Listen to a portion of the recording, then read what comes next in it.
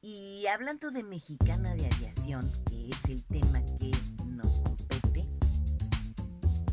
hoy en la mañana me quedé pensando después de oír al presidente Andrés Manuel López Obrador cuando dijo, vamos a ayudar en todo lo que podamos, en la investigación, todo lo que nos solicite la Fiscalía, en el entendido de que se trata de un organismo autónomo eh,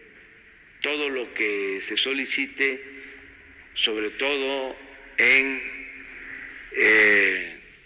movimiento de dinero, en bienes,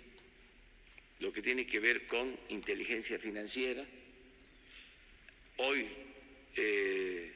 estuvo en la mañana Santiago Nieto y él es el encargado pues de darle seguimiento a operaciones financieras. Es muy raro, es muy raro que se esté viendo por los empleados de Mexicana de Aviación, sobre todo por los activos, ¿sí? Por los que todavía no nos pagan desde hace nueve años. Y chistosamente, chistosamente,